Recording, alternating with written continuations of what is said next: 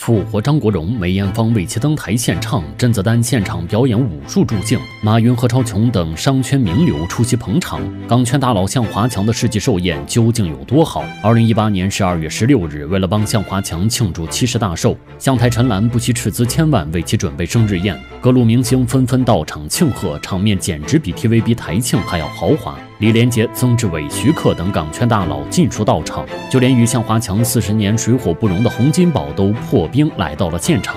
晚宴的选址不仅能招待两千名贵宾，还能容纳现场的一百多位记者，更是设置了红毯见面会和拍照环节。光是红毯两侧用于拍照的 LED 屏幕就超过了五十万美金，场面不输任何一届颁奖典礼。首演开始之后，如今鲜少露面的徐小凤再次登台为向华强献唱。一向难开金口的古天乐竟然也十分难得的唱了一首，韩磊更是将自己的帝王之音献给了向华强。五十多岁的甄子丹挥拳助兴，只为博大佬一笑。大导演徐克则是直接沦为配乐，为甄子丹伴唱了一首《男儿当自强》。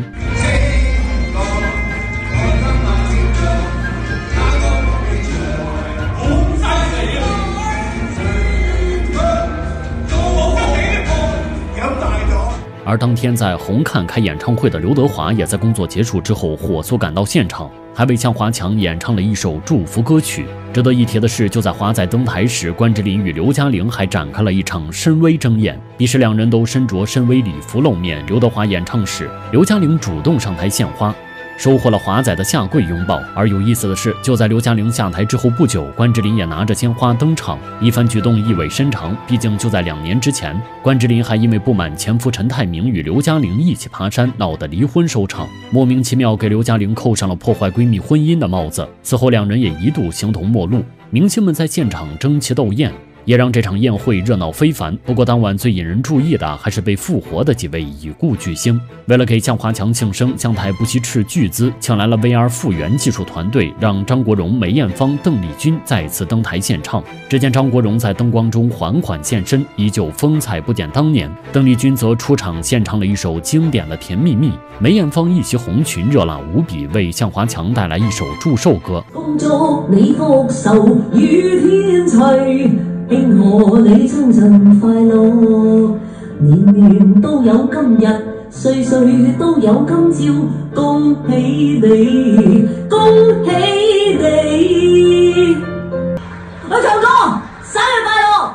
为了这场寿宴，向太不仅耗资巨大，请来的明星也都非富即贵。然而，这场寿宴看似豪奢无比，却也留下了一个最大的遗憾：向华强七十大寿时，向太为他请来了半个娱乐圈助兴。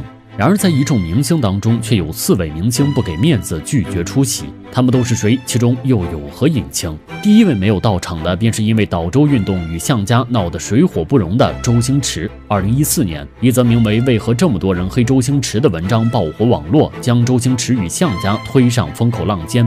文章中，从周星驰出道走红到与向华强之间的恩怨，以及他后来所遭受的不公平事件，都披露得清清楚楚。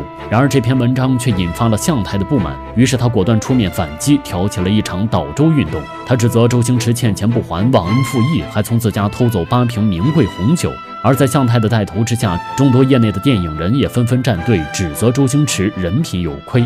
这场岛州运动闹得轰轰烈烈，也导致周星驰公司的员工大量出走，濒临倒闭。从此，周星驰与向家也逐渐势同水火。因此，向华强七十大寿时，周星驰没有到场也是情理之中。而除了周星驰之外，张柏芝也一度因为与向家的矛盾被视为忘恩负义。当年张柏芝拍摄《喜剧之王》一炮而红，为了捧他，向太不仅亲自当了他的经纪人，还将他收为自己的干女儿。然而几年之后，向华强与向太却突然统一口径，表示对张柏芝。永不录用，向太还不惜将张柏芝抹黑成了张口谎话的精神病人。而之所以造成这样的局面，据说是因为张柏芝在拍戏时不敬业。当年张柏芝与刘德华合作电影《忘不了》时，在片场电话不断，导致刘德华的镜头被 NG 了六十多次。彼时有向太照拂，圈内明星只能选择隐忍。可没想到的是，张柏芝非但不收敛，反而还愈加过分。二零一四年。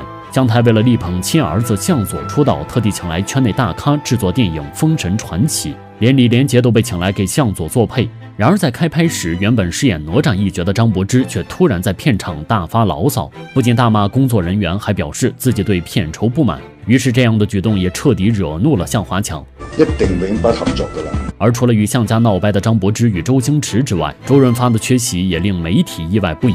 因为就在向华强寿宴几天前，周润发还被拍到在香港的饭店用餐，因此他的缺席也一度被认为是与向华强心生嫌隙。不过好在事后向太出面替周润发解释，表示周润发之所以不来，是因为家中确实有事，而且也早已和向华强打好了招呼。周润发一向不喜欢这样的场合，没来参加也情有可原。不过另一位大佬的缺席却直接牵出一桩陈年恩怨。同样都是叱咤港圈的大佬，成龙与向华强竟然至今都没有一张合照，两人之间的关系也不言而喻。而之所以造成这样的局面，据说是因为梅艳芳三十岁生日时姗姗来迟的成龙被向华强当众责难，这才导致两人长达几十年的恩怨。不过两人之间的矛盾由来已久，彼时成龙因对帮派等黑势力不满，还曾带头请求严惩帮会势力。而对于曾是新延安龙头的向华强，成龙也屡次在采访中对其有意无意的点名。殊不知向家早就转型电影业，鲜少再过问江湖事。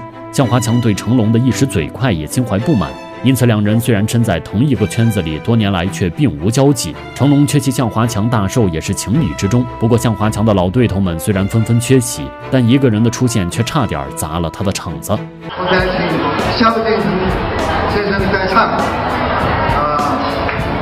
五首歌，每首我捐一百万给那个基金。向华强豪掷五百万只为听他唱歌，结果萧敬腾却将自己给赔了进去。这一幕发生在港圈大佬向华强的寿宴现场，彼时向太豪掷千金为他操办大寿，一众港圈名流纷纷到场庆贺。向太甚至不惜斥资千万将张国荣和梅艳芳复活为其献唱。然而萧敬腾的出现却不亚于砸场子，而罪魁祸首正是因为他的那张脸。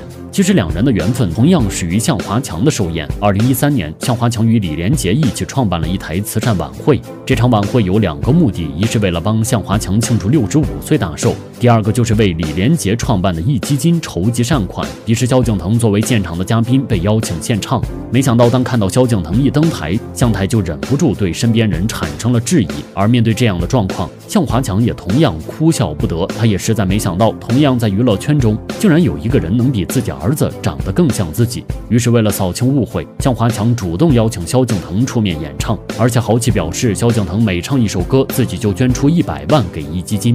而在此之后，向太看萧敬腾也是越看越喜欢，再加上萧敬腾长相与向家父子实在相似，于是为了扫清媒体疑虑，就直接将萧敬腾认为干儿子，仅凭长相就获得向家保驾护航。萧敬腾在圈内的地位和资源也直线上升。此后，每当萧敬腾去香港演出，向华强都会亲自捧场，还会专门为他拉赞助。而作为干儿子的萧敬腾，对向华强也是格外孝顺，重要场合从不缺席，还成了在向佐婚礼上唯一一位现场驻唱的嘉宾。